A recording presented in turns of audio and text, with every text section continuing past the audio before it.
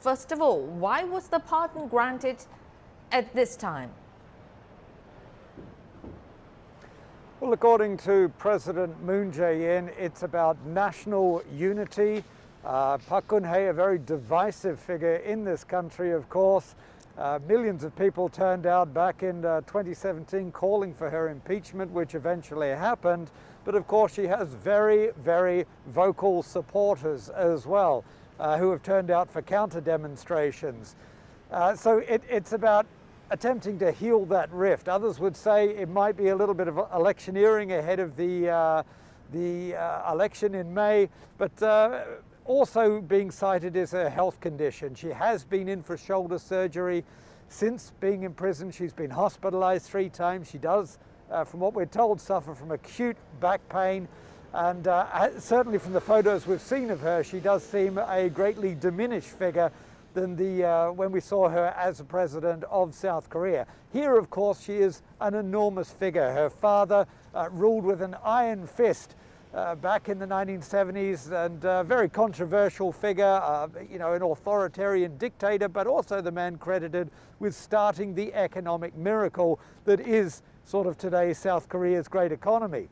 Indeed. Uh, she, he was killed by his own head of security. You know, she witnessed her mother's assassination and she managed to forge her way to the presidency only to be brought down through this impeachment trial. So, you know, this is a big event for South Korea and it's taken many people by surprise because President Moon said again and again that he wouldn't do this.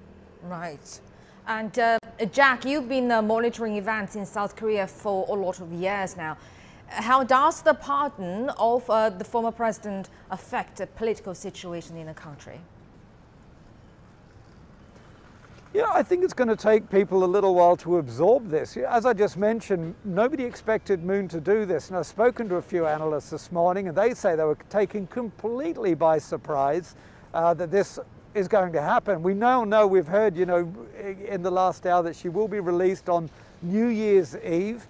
Uh, we can expect a large number of her supporters down there to have essentially a big party, but we might expect a big counter demonstration down there uh, who will oppose it. And many of them will be from President Moon's own party. So it's hard to see how this is going to play out. Uh, it could solidify the, the right wing opposition ahead of the uh, upcoming election in May. It could sow further division. That's probably something President Moon is hoping for.